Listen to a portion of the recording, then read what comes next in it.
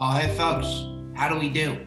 Top of the morning to you. We are back with yet again another bagel review on the quest, folks, to find the perfect LA bagel here. Is it going to be anything like the East Coast? No, we know that, but we got to find that bagel that's going to get Bobby by day in, day out. Sam's Bagels on Sunset here in LA ready to rock and roll here. Now, it's a weekday. On the weekdays, we always do the toasted with cream cheese. That'll always be the case. Weekends, we splurge a little bit. That's when we throw the lox on the bagel. lox, cream cheese, the whole works. We have some fun with it there.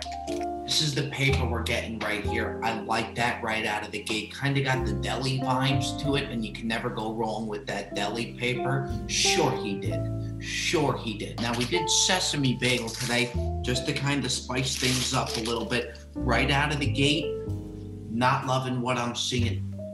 Folks, it's all about that cream cheese ratio right now. Not nuts about that cream cheese ratio. That cream cheese should be oozing out. When I take this corner bite right here, I should get some drip of that cream cheese coming out. No worries, we'll save that for later. Scoop that sucker up. Right now, could be wrong. My guess is I'm to take this bite. We're not to get that cream cheese drip.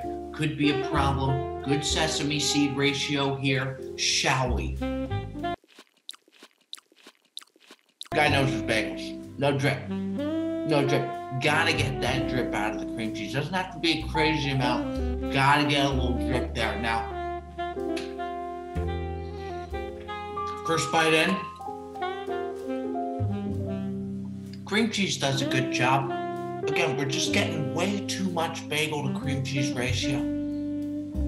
That's got to be, you want to look at about a 50 50, 55 45 bagel cream cheese. Right now, we're about 75 25 bagel to cream cheese ratio. Gotta crank up those cream cheese numbers. By the way, how about the kid drinking nothing but the finest. Know, this ain't an ad. It don't need to be. Trader Joe's spring water. Sure he did. Sure I shall. Whoa. Bagel bite just came flying out of there. Put that sucker right down the hatch. Looks it's a good looking bagel from the top. I think they could do some damage on like an egg bagel you know, you throw some egg in there, bacon, egg, and cheese or something. Just from what I'm seeing, they got to increase the egg issue. I hope it's nothing like the cream cheese ratio.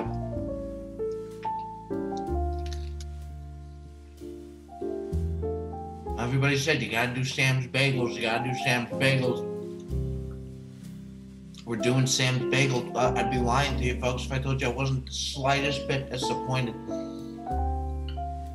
We're going to give them the nod on the Lox Bagel eventually on the weekend, so they'll have a shot at redemption. Folks, we're looking at a 6 2. We're looking at a 6 2 right here. Sam's Bagels, that's a wrap, that's a wrap job. Bobby Bagel Reviews. We'll see you next time. Where will we order from next? This was Sam's Bagels locking in the 6 2. Not nuts about it. We'll see you next time.